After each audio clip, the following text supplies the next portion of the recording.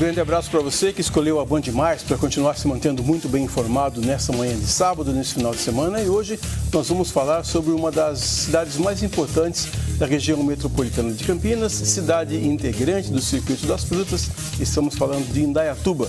E para isso, nosso convidado, o prefeito de Indaiatuba, Nilson Gaspar, que já está aqui conosco. Prefeito, obrigado por ter aceito o nosso convite. Obrigado, é um prazer meu estar aqui com vocês falando um pouquinho de Indaiatuba. E aqui comigo, como sempre, o jornalista Tiago Dantas. Já esteve em Dayatuba, Dantas? Olha, Edson, confesso que ainda não, apesar de ser perto, mas ainda não passei por lá. Mas depois desse bate-papo, com certeza estarei convencido a passar em Dayatuba, nem que seja para tomar um caldo de cana. O prefeito Nilson Gaspar, o que, que tem de tão bom assim em Dayatuba que eu ouço as pessoas dizendo que gostam de morar lá e para convencer o Dantas aí de um passeio também na sua cidade? Indaiatuba é o seguinte, quem vai lá e toma o caldo de cano ou água de Indaiatuba, Dantas, acaba ficando por Indaiatuba. Porque Indaiatuba é uma cidade gostosa, uma cidade plana, uma cidade que só falta praia. É uma cidade assim, que tem um ar diferente, moderno, uma cidade limpa, organizada, uma cidade que não tem favela. É uma cidade que, que as pessoas que vão conhecer ou visitar acabam ficando morando. Acabam morando em Dayatuba. Proximidade do aeroporto, proximidade aqui de Campinas, a uma hora de São Paulo, menos de uma hora de São Paulo, grandes rodovias. Então, uma cidade que tem uma segurança é, diferenciada. Hoje, entre as cidades de 200 a 500 mil habitantes, Indaiatuba é considerada a mais segura do país. E tem uma cidade que tem muitos requisitos, além da educação, uma infraestrutura, o potencial econômico, industrial muito grande. Então, é uma cidade que atrai as pessoas é, por toda essa, essa quantidade de informações que eu passei e também pela hospitalidade que o nosso povo tem. Um dos motivos também é que Indaiatuba é uma cidade verde, né, prefeito? Vocês estão aí com o projeto Bairro Verde, que é, é sobre o plantio de árvores nos bairros e o reflorestamento também na cidade. Queria que você falasse um pouquinho sobre esse projeto. Todo o desenvolvimento lá, Dantes, que nós temos em Indaiatuba, nós pautamos sempre por o olhar ao meio ambiente. Então, nós fazemos o nosso plano diretor atualizado a cada 10 anos. E nós fazemos também um planejamento da cidade de 10 em 10 anos. Então, o que, que vai precisar na cidade de creche, escola, hospital, posto saúde, malha viária, segurança, água, que é uma questão muito importante numa região seca, como nós estamos aqui na região eh, de Campinas. E a gente olha muito essa questão ambiental. Então, cada empreendimento que se aprova hoje lá tem que ter a parcela da, da obrigação do empreendedor de fazer um comprometimento de, de arborização na cidade. E no dia a dia, é, nós fazemos lá, tem um programa que chama Clique Árvore, um projeto que nós chamamos Clique Árvore, que as pessoas ligam, a prefeitura vai, faz o plantio, planta com gel, não tem trabalho nenhum para que a pessoa possa ter uma árvore e ter uma tranquilidade lá de um clima melhor na cidade. E o bairro verde a gente vai toda semana, escolhe uma região da cidade que não está tão arborizada, visitamos casa por casa com os alunos da nossa instituição, que é a FIEC, que é uma fundação idatubana de educação, de qualificação profissional, e eles mostram para os moradores a importância da árvore e o tipo adequado de árvore para se plantar na calçada. E depois nossa equipe vai na semana seguinte, faz o buraco junto com os moradores, você tem que colocar a consciência ambiental deles, não adianta a prefeitura ir lá fazer, se não envolver as pessoas. E aí a gente vai arborizando os bairros. Trabalho de médio e longo prazo, mas que traz um resultado fantástico para a cidade e para o futuro também. Prefeito, faltando aí alguns meses para o final do ano, é o seu segundo mandato, você está feliz, fez tudo o que queria fazer, o que é que falta, o que é que dá para fazer ainda até o final do ano? Olha, Edson, nós temos um plano de governo assim muito muito, muito é, centrado, um plano de governo assim muito responsável. E durante esses três anos e meio, praticamente, eu já atualizei ele duas vezes, que ainda é muito dinâmico. As coisas são muito rápidas lá. Mas eu sou muito de rua e eu sou engenheiro agrônomo. Então eu vou andando pela cidade e todo dia eu vejo alguma coisa nova para fazer. Eu falo, meu Deus, vai acabar agora em dezembro e eu não consegui realizar isso ou realizar aquilo, ou vejo uma obra nova para ser feita. Então a gente faz a programação dentro do plano de governo, a gente segue a risco o plano de governo. E, e vai surgindo novidades no meio, que nós vamos encaixando e vai muito além do que a gente programa na cidade é, durante, durante os quatro anos de mandato. Aí. Mas todo dia eu vejo alguma coisa nova para fazer, porque uma cidade é como se fosse uma grande empresa. Se Indaiatuba fosse uma empresa, eu seria o presidente da maior empresa do município. Indaiatuba tem 5.200 funcionários, não é a maior em arrecadação, mas é problemas e situações de A a Z e que você tem que estar ligado e antenado, como uma empresa tem que fazer. Ela tem que fazer o seu o seu produto se desenvolver, para ela ter mais rendimentos, para ela evoluir, para ela crescer. E em Dayatuba eu coloco assim, como eu sou presidente, eu tenho lá 270 mil acionistas que não querem ver, não querem ver lucro, querem ver bons, bons serviços prestados. E é o trabalho que a gente faz lá para deixar a cidade em ordem. Mas tem muita coisa para ser feita ainda.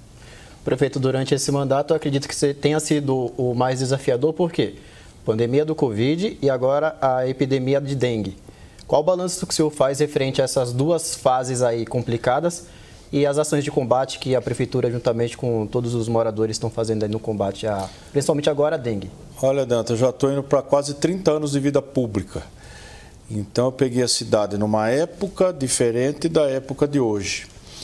E passei por muita coisa. Passei pelo tornado lá, na época que aconteceu lá em Dayatuba, foi 2005, se não me engano, 2004, 2005. É, depois veio greve de caminhoneiro, é, depois veio a pandemia, que não veio com manual, ninguém sabia o que fazer. E a internet, ela tem de tudo, todo mundo é especialista na internet, né? E eu não costumo administrar pela internet, porque se você for administrar pela internet, você vai fazer bobagem. Então a gente sentava, olhava, analisava e para tomar a melhor decisão, a mais ou a menos complicada no período da pandemia lá. Os comerciantes, tudo fechados, foi, foi uma pior época que nós passamos, todos nós aqui, pessoas adoecendo, ainda a Tuba tem um, um, uma estrutura de saúde muito robusta e a gente conseguiu atender a todos, ninguém ficou sem atendimento na pandemia. Gente conseguiu atravessar. Agora veio a dengue. Você é, sai de uma é, pandemia, entra numa epidemia. Aí veio a dengue agora. E a dengue é aqueles, aquela, aquela questão também que não depende só do município ou, ou, do poder público, depende das pessoas, da participação de cada um cuidar do seu quintal, é, das pessoas que viajam e acabam contraindo a dengue e depois transporta, ela vem um caso importado para a cidade, e isso vai, isso vai se alastrando. Então nós temos hoje um trabalho muito sério lá e não para, é todos os dias do ano, independente de época que seja, para a gente manter a cidade limpa, para a gente dar orientação para os nossos munícipes. Nós temos uma, é, duas máquinas de nebulização que a gente passa na cidade inteira, principalmente de madrugada, e visita, visita e campanha porque não depende só da prefeitura, depende do município lá dele cuidar. Mas, graças a Deus, em Dayatuba, nós estamos, é a cidade que tem menos casos de dengue na região metropolitana, porque nós tivemos também no passado, há três anos atrás, uma parceria com uma empresa que lançou um mosquito transgênico. E esse mosquito diminuiu muitos índices de, de contaminação na cidade. Então isso ajudou bastante. Até por isso que hoje em Dayatuba está numa situação não digo confortável ou tranquila, está numa, numa situação melhor que as outras cidades da região. Outro dia, Dantas, eu vi o prefeito fazendo umas fotos lá, ao lado de uns ônibus bonitos. Tá? eu, dá, dá gosto lá naqueles ônibus, hein? É, lá nós tínhamos um problema sério de transporte, lá, viu, Edson? E aí a gente fez um planejamento, uma gestão, trocamos a empresa e hoje a atual empresa ela investe muito e é uma das cláusulas do contrato. Todos são zero quilômetro. É, trocou 20, 28 novos agora, tem 70 ônibus a frota toda, mas ficou com dois anos, a gente já pede para trocar, dois, três anos já pede para trocar, todos com ar-condicionado, rampa para cadeirante, Wi-Fi, é, poltrona conforto, enfim. A Dá gente... para morar no ônibus, então? Com certeza. Não, eu vou falar para você, é até, até, até gostoso, é mais gostoso andar no ônibus, é, lá em Dayatuba, pelo menos, mas do que, às vezes, depende do carro que você tiver. Então, é um conforto que a gente traz para a população lá. Uma das umas passagens mais baratas da região para o usuário, lógico, que o município subsidia, porque não tem, não tem milagre, viu, gente? Ah, ônibus zero, passagem barata, não tem milagre, tem subsídio. Então, esse é um detalhe importante também que deve ser, deve ser esclarecido aqui. Mas lá a gente está sempre pautando para dar uma, um conforto e uma atenção melhor e linhas. E linhas lá a gente olha a demanda. Tem demanda, aumenta a linha. Se não tem, a gente estuda horários para poder atender todo mundo. Porque já não é fácil andar de ônibus. E se você não tiver um conforto, não tiver uma dignidade para andar no ônibus, fica mais difícil ainda.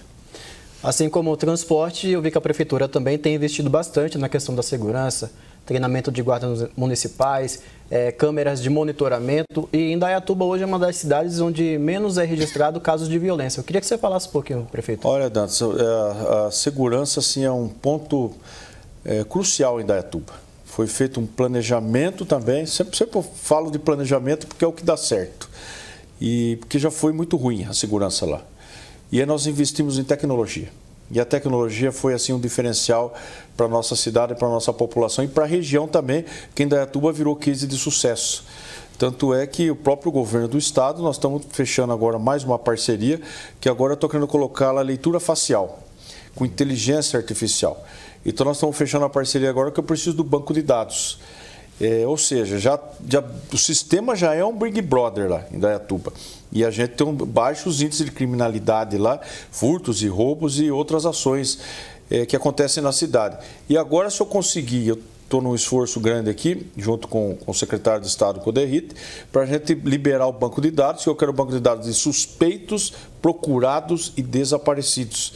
Porque o sistema de leitura facial não é para cuidar da vida de pessoa de bem. É para mim saber, se for procurado, ele entrou na cidade, vai soar um, um alarme lá no meu sistema, lá que é o Centro de Operações de Inteligência, que é o COI. Aí nós já vamos, se for procurado, a gente já resolve. Se for suspeito, vamos querer saber o que ele está fazendo, para onde ele vai, vamos juntar informações para a gente poder tomar as providências. E se for desaparecido, o que pode acontecer? Esse mundo das drogas, que infelizmente existe em todo lugar, pode ser que a pessoa se perdeu na droga lá na Cracolândia, em São Paulo, perdeu a memória e está aí jogado por algum lugar, de repente passou lá por Indaiatuba, a gente pode encontrar essa pessoa aí.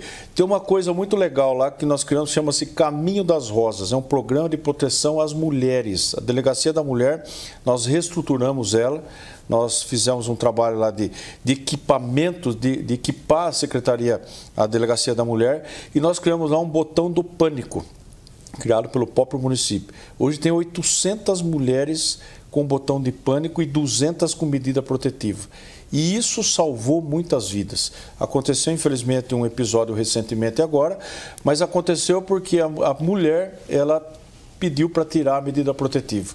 Que às vezes volta o relacionamento e às vezes por, acho que uma, o companheiro força a amizade e acaba tirou a medida protetiva e tirou o botão de pânico. Aí aconteceu lá um feminicídio na cidade. Como que funciona esse botão do pânico, prefeito? A mulher que tenha uma, uma queixa sobre violência, ela ganha algum sistema, é isso? Ela ganha. fica com o sistema? O prefeito vai responder depois do intervalo. A gente vai rapidinho para o intervalo. Estamos conversando hoje com o prefeito Nilson Gaspar de Indaiatuba.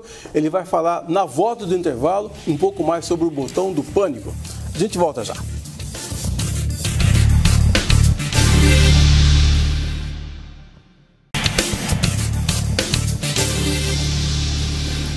Voltamos com o segundo bloco do nosso Band de Entrevista de hoje, conversando com o prefeito Nilson Gaspar de Indaiatuba e um pouco antes do intervalo, o Tiago Dantas tinha feito uma pergunta para ele sobre o botão, de pânico, botão do pânico. Quer repetir a pergunta, Dantas? Vamos lá, prefeito. Só explica para a gente como é que funciona. É algum sistema que a mulher é, tem ao todo tempo, na hora que for preciso ela, ela aperta, faz a solicitação da segurança, como que funciona? É, foi desenvolvido dentro do nosso setor de, de tecnologia lá de informática da prefeitura esse aplicativo, que só as mulheres que necessitam que nós colocamos. Então, se ela, ela surge, ela aparece lá na Guarda Municipal ou na delegacia e fala, estou com meu marido, alguém, um, um ex-companheiro que está me ameaçando e mostra lá. Nós, nós, precisamos saber também o que, que é, porque senão, senão vira bagunça. E aí nós instalamos no celular dela esse aplicativo. Ele fica ali na, na página, na, na, na, na tela do, do celular e, e, se qualquer ameaça que ela sofrer, ela só encosta o dedo por 3 segundos e ele soa um alarme dentro do centro de operações. Aparece a foto dela e do suposto agressor. E manda um sinal GPS de onde ela está. Então as viaturas já que estão circulando para a cidade, todas são georreferenciadas, a gente manda a viatura mais próxima. Com esse botão nós já salvamos 15 vidas em Dayatuba. Inclusive dia aconteceu de uma pessoa estar tá dentro da igreja e o ex-companheiro estava esperando na porta. Ele acionou o botão e a igreja nem percebeu. Nós prendemos a pessoa é, no portão. Ele tinha uma medida protetiva, não podia chegar perto da pessoa. Então é uma, é uma tecnologia que veio para somar. E fora as viaturas e preparo dos nossos agentes policiais, dos nossos guardas municipais, e a gente dá treinamento também para as mulheres, é, para treinamento de defesa pessoal. As mulheres que querem também a gente dá. Não é para ficar batendo nos homens lá, não, mas é para se defender de alguém que quiser abusar delas lá. Ah, prefeito, a Rede Bandeirantes, num projeto aqui inédito com o Instituto Aquila, instituiu também o Prêmio Band de Cidades Excelentes. E eu estou vendo aqui no relatório que eu recebi da sua assessoria que em vez por outra, dá uma beliscada no prêmio. E no quesito governança, eficiência fiscal, transparência. Indaiatuba está com tudo, hein, prefeito? É, Indaiatuba, Edson, é um modelo de gestão que começou há 28 anos atrás. Porque Indaiatuba, se a gente voltar esse tempo todo, era uma cidade também que estava quebrada, falida, destruída, não tinha perspectiva, não tinha emprego. As pessoas saíam de lá para vir para Campinas para fazer compra, o comércio era muito fraco lá, então se fez, parou-se. Parou-se, vão ver o que tem que ser corrigido. E aí fez um planejamento, uma gestão e foi sanando as pendências que nós tínhamos na cidade. E nós fomos evoluindo, ano a ano. Nosso grupo político tem todo esse tempo aí. Eu faço parte dele. E aí foi, a cidade chegou num patamar de excelência. Tanto é que nas três últimas edições é, do Bando de Cidades Excelentes, até agradecer ao João Saad que, que nos deu a oportunidade de participar. É, nas duas penúltimas, nós tivemos em primeiro lugar, concorremos com cidade como Curitiba, Londrina, Indaiatuba foi, foi vitoriosa, porque tem uma equipe que foi formada é, ao longo de todos esses anos e nós estamos sempre inovando.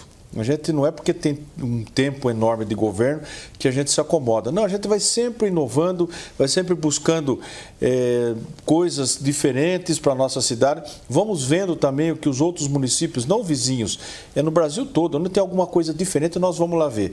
E Indatuba hoje é referência em saúde, em educação, em segurança, em meio ambiente e tem uma cidade que é, aplica, aplicação correta dos recursos, como foi dito aí, transparência e, e eficiência fiscal. Então, isso nos dá a possibilidade de ter uma cidade equilibrada, sem dívida e com dinheiro em caixa. E quem for em Dayatuba, assim como eu estarei lá brevemente, não pode deixar de visitar o Museu da, da, da Água, é isso? Museu da Água. Que é um tem ponto o Museu turístico, da né? Água, tem o Bosque do Saber, tem o Parque do Mirim, tem o Parque da Criança, tem o Parque Temático, tem o nosso cartão postal, que é o Parque Ecológico. Então, tem muita coisa gratuita. Tem o Indaiatuba. retiro espiritual, quiser fazer o retiro. tem Lá que no ir lá. mosteiro pode ir também, fazer o retiro espiritual. Então tem muita coisa boa, fora os bares, restaurantes, que é maravilhoso, né, Datuba? É, prefeito, eu queria perguntar para o senhor o seguinte: é, o senhor também, ouvi também o senhor falando a respeito de uma feira das indústrias, que é um evento também importante, que é agora nesse mês de maio, né? Mês de maio, o lançamento vai ser dia 20 de maio agora. E essa Feira das Indústrias, nós reunimos as principais indústrias. Em Datuba tem 1.200 indústrias. E pelo menos 150 delas participam dessa feira. E qual que é o intuito maior, Edson? É dessas empresas fazerem negócios entre elas. E nós fazemos lá muita rodada de negócios. Porque às vezes tem uma empresa que está próxima da outra, que tem produções equivalentes, e essa empresa A está comprando de uma empresa lá de São Paulo ou de outro estado, sendo que do lado dela tem uma empresa B que pode estar vendendo com preço muito melhor e é com a mesma qualidade, uma qualidade superior. Então a Feira das Indústrias lá serve para a gente atrair negócios, gerar emprego, movimentar o comércio, movimentar a economia da cidade. E já fica o convite, a partir do dia 20 de maio, passa a visitar que tem muita coisa boa lá e tem muita inovação, muita novidade. Ainda na, na questão da geração de empregos, prefeito, eu vi que vocês estão entre as cidades onde mais tiveram oportunidades de emprego recentemente. Eu queria que você falasse um pouquinho sobre essa abertura para quem está buscando voltar ao mercado de trabalho. Olha, Dantas, em Dayatuba hoje, só no PAT, no posto de atendimento do trabalhador, peguei, eh, peguei agora. Eh, tem quase mil vagas abertas, 960 vagas abertas, não consegue preencher. Mas se juntar todas as agências de emprego e todos os comércios e indústria, a gente estima que em Dayatuba deva ter umas 2.200 a 2.500 vagas de emprego aberto. Então, a oportunidade em Dayatuba de trabalho hoje tem muito e está sobrando. Eu quero saber de você, prefeito, se as crianças de Indaiatuba estão na escola. Todas, 100, lá 100%. É, hoje é vaga zero é, nas escolas. Eu converso muito com os, com os de- secretários da região, com os prefeitos também. Tem muita cidade aí que está com filho e está com ação judicial aí para colocar a criança na creche. Lá nós estamos com vaga zero. Às vezes não tem naquela creche que a pessoa quer. mas em outras localidades a gente tem vaga lá é disponível para todos. Mas o que, que, é? A gente faz sempre, Edson, um trabalho de estudo, é, ano a ano. Quanto que vai crescer a cidade ano a ano? Quantas crianças nascem Você tem uma ideia, em Dayatuba hoje nasce 10 a 12 crianças por dia no município. Então vai fazendo a conta aí, 300 a, a 330 crianças por mês. Então um número considerável. Quantos por cento dessas crianças vão vir para a creche? Que a maioria, muitas vêm para a creche pública, que lá é muito boa, não perde nada para particular. Então hoje, só para você ter uma ideia, eu tenho sete escolas em construção porque para atender a demanda do crescimento da cidade. E dentro do estudo dos 10 anos, a gente está calculando como vai ser a nossa cidade nos próximos anos. Exemplo, até 2031, 32, constrói creche para criança. 32 para frente, creche para idoso. Para nós, porque ninguém vai ficar é para semente.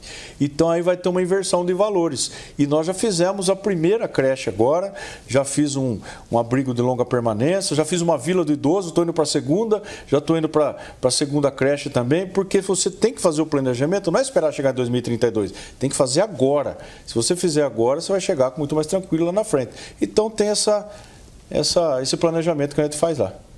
Vou usar sua palavra. Como que está o planejamento para habitação e moradia lá em Dayatuba, prefeito? Lanço agora, Dantas, no segundo semestre, 2.400 unidades habitacionais. É, minha Casa Minha Vida, nós fizemos uma parceria público-privada, lá eu tenho um fundo de habitação é onde o empreendedor que quiser construir em Datu, ele pode construir, mas ele vai depositar X% nesse fundo. E com o dinheiro da iniciativa privada, eu desenvolvo os projetos habitacionais. Ele é autossustentável. E lá vou fazer um projeto inédito. Eu não vou conseguir entregar porque não vai dar tempo. Eu lanço, começo a construir. Meu sucessor provavelmente vai estar entregando. Lá nós vamos fazer uma vila para idosos. Tem um condomínio, é, para idosos não, para solteiro. Vai ter uma vila exclusiva para solteiro. Para solteiro? Um condomínio exclusivo para solteiro, diferenciado, 200 apartamentos. Por quê? Porque geralmente os programas habitacionais é para pessoas que têm família constituída. E está certo. Sim. E o solteirão, como é que faz? Precisamos ajudar ele também. então nós vamos fazer o primeiro, acho que no Brasil, onde nós vamos dar oportunidade para os solteiros.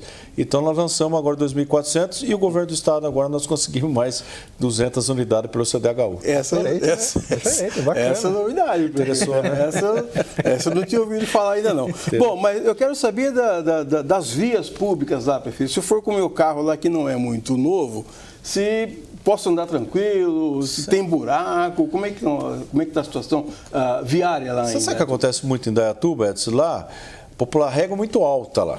Então, uma rua irregular dá a impressão que está tudo esburacada, mas não é, ela é irregular, porque é, passa com gás, passa o pessoal lá da, da internet, o pessoal do SAI, abre buraco, então o famoso defeito no asfalto. Mas nós estamos com um grande plano de recapeamento na cidade, está fazendo muitas ruas velhas deterioradas, mas você pode sem medo tranquilo com o seu carro, só cuidado com o excesso de velocidade.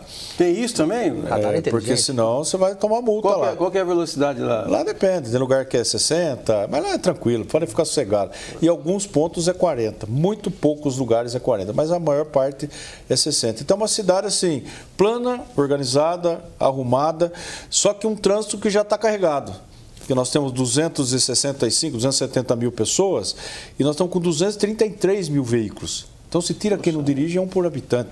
Então, esse trânsito começou a ficar carregado na cidade. Prefeito, é, Indaiatuba está no 19 lugar entre o ranking que foi divulgado agora de cidade de, na questão da sustentabilidade.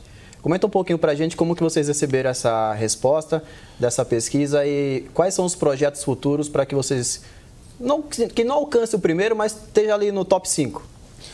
Olha, Dantas, tem que continuar investindo. Investindo em saúde, em educação, em responsabilidade fiscal, em qualidade de vida, em segurança, em abastecimento, é, em áreas prioritárias. Esse é o, é o, o ponto principal e, e o meio ambiente e, e, todas as outras áreas que são fundamentais. E se a gente continuar com o planejamento que vem acontecendo ao longo de todos esses anos, a gente vai sim conseguir subir nesse ranking e o objetivo é chegar entre os 10. Não digo ser o primeiro porque seria muita prepotência minha, mas chegar entre os 10 porque Indaiatuba hoje está num grau de crescimento e desenvolvimento sustentável e tudo que se faz é com planejamento nada na loucura e nada no achismo. A gente faz com os dois pés no chão para não perder essa qualidade de vida que tem lá. A gente já está na parte finalzinha do programa já, prefeito, mas eu não posso deixar de falar com o senhor sobre o fato de que a cidade também integra o circuito das frutas, que também é um circuito importante aqui da nossa região.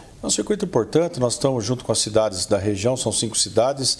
Indaiatuba é a cidade da uva, né? Nós temos lá o bairro que chama Videiras, tivemos uma festa da uva agora recentemente, da uva e do vinho. Tem muita produção de vinho na cidade e está cada ano evoluindo. Está evoluindo e os agricultores estão se profissionalizando e se aperfeiçoando cada vez mais. E dentro, em breve, e esse é o projeto turístico-cultural lá, nós também temos uma rota de vinho no bairro Videiras de Indaiatuba. Então nós estamos trabalhando forte para que essa integração do circuito das frutas cresça e Indaiatuba seja uma cidade aí beneficiada. Prefeito Nilson Gaspar, prefeito de Indaiatuba, muito obrigado por ter aceito o nosso convite, por ter vindo aqui falar um pouco dessa cidade que a gente já ficou, eu pelo menos fiquei com muita vontade de até, de, também, até de mudar para lá, viu, prefeito? É, esse é o problema.